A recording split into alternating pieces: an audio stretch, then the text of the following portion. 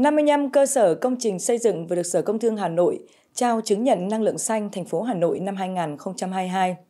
Các doanh nghiệp đã thực hiện mô hình quản lý năng lượng, các giải pháp kỹ thuật, đầu tư đổi mới trang thiết bị công nghệ có hiệu suất cao, tiết kiệm năng lượng, thực hiện các giải pháp kỹ thuật theo nhu cầu cụ thể của từng doanh nghiệp.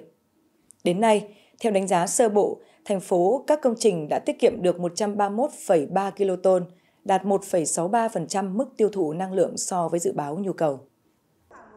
Lễ trao danh hiệu cơ sở công trình xây dựng sử dụng năng lượng xanh năm 2022 nhằm tôn vinh các cơ sở doanh nghiệp sử dụng năng lượng xanh cũng như phổ biến, nhân rộng các giải pháp tiết kiệm năng lượng tiêu biểu để các cơ sở có mô hình tương tự áp dụng, thúc đẩy công tác quản lý, sử dụng năng lượng hiệu quả, nâng cao hiệu suất sử dụng năng lượng của thành phố,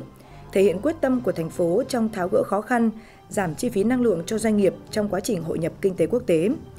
Sử dụng năng lượng tiết kiệm và hiệu quả là việc áp dụng các biện pháp quản lý và kỹ thuật nhằm giảm tổn thất, giảm mức tiêu thụ năng lượng của phương tiện, thiết bị mà vẫn bảo đảm nhu cầu, mục tiêu đặt ra đối với quá trình sản xuất.